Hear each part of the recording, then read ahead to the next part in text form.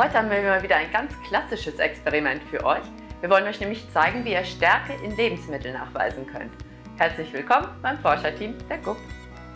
Für einen klassischen Stärkenachweis braucht ihr eine ganz besondere Chemikalie, nämlich eine Jodlösung. Wir verwenden hier ganz klassisch eine sogenannte Lugolsche Lösung, da ist auch Jod drin enthalten. Ihr könnt euch aber auch aus der Apotheke eine reine Jodlösung besorgen oder auch eine Jodsalbe, die einfach mit ein bisschen Wasser anrührt, damit ihr auch eine Flüssigkeit zur Verfügung habt. Ja, und was Sie dann noch brauchen, sind natürlich Proben, die wir gerne untersuchen möchten. Wir haben uns ja in der letzten Zeit sehr mit Kartoffeln beschäftigt, deswegen werden wir zuerst mal die Kartoffelstärke als sogenannte Vergleichsprobe verwenden. Wenn hier Stärke draufsteht, wird hoffentlich auch Stärke drin sein. Deswegen werden wir gleich erstmal gucken, wie eigentlich unsere Reaktion aussehen sollte, die diese Jodlösung hier hervorruft. Wenn ihr erstmal so guckt, dann ist es hier ein Röhrchen mit so einer bräunlichen, orangenen Lösung drin. Die werden wir jetzt gleich mal zu unserer Stärke geben und uns die Reaktion angucken. Also nehme ich erstmal ein Löffelchen von unserer Kartoffelstärke, hier meine Schale, und tropfe dann mal etwas von unserem Jodreagenz dazu.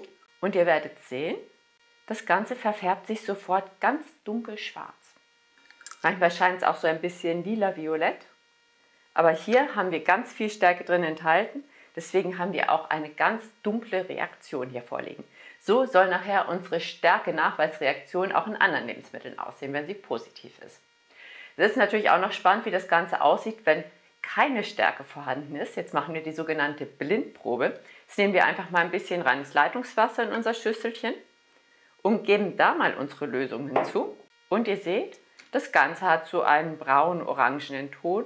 So sieht es also aus, wenn keine Stärke enthalten ist. Und hier nochmal beide Proben zum Vergleich. Da wir jetzt ja wissen, wie unsere Proben aussehen, wenn sie positiv oder negativ sind, das heißt, wenn sie Stärke enthalten oder keine Stärke enthalten, können wir jetzt gleich loslegen mit unserer Testreihe. Aber vorweg noch ganz wichtig, liebe Eltern, ihr müsst natürlich dabei sein, wenn eure Kinder mit Chemikalien experimentieren. Guckt ihnen einfach über die Schulter und passt auf, dass nichts passiert. So, jetzt interessiert uns natürlich zuallererst unsere Kartoffel, die wir jetzt schon so arg erforscht haben. Jetzt wollen wir wissen, ob hier wirklich auch in der rohen Kartoffel Stärke enthalten ist. Also nehme ich meine Lösung und gebe einfach mal ein paar Tropfen da drauf. Und dann gucken wir mal, was passiert. Und wirklich, es sind ganz klar dunkle Stellen zu erkennen, nicht ganz so stark wie bei dem Stärkepulver. Aber ihr seht, dass hier wirklich Stärke auch in der rohen Kartoffel enthalten ist.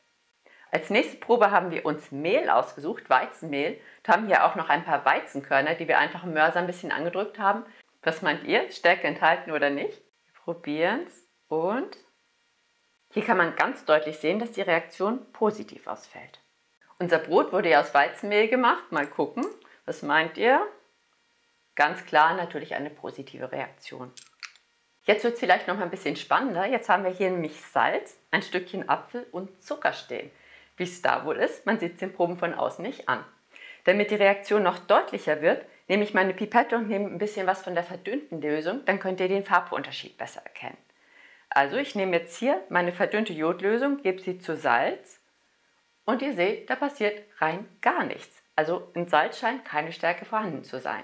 Wie sieht es bei Zucker aus? Und auch bei Zucker ist die Probe absolut negativ. Jetzt als letztes testen wir nochmal den Apfel. Wenn man beim Apfel ganz genau hinschaut, kann man sehen, dass nach einiger Zeit doch ganz, ganz kleine dunkle Verfärbungen auftreten.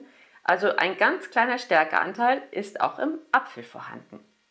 Jetzt könnt ihr euch natürlich einfach mal durchtesten. Könnt alle möglichen Lebensmittel ausprobieren. Jetzt könnt ihr mal ein Stückchen Gurke nehmen, eine Weintraube, ein Gummibärchen, was euch gerade so in die Hände fällt. Euch fällt bestimmt was ein. Ihr seid ja schließlich Forscher.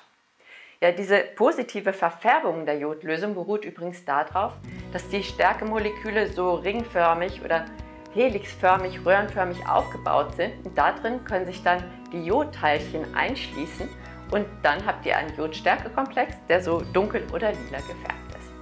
Ja, und jetzt wünschen wir euch einfach viel Spaß beim Forschen. Wenn euch das Video gefallen hat, dann lasst uns doch einfach mal einen Daumen nach oben da und abonniert unseren Kanal. Wir sagen euch Tschüss, bis zum nächsten Mal.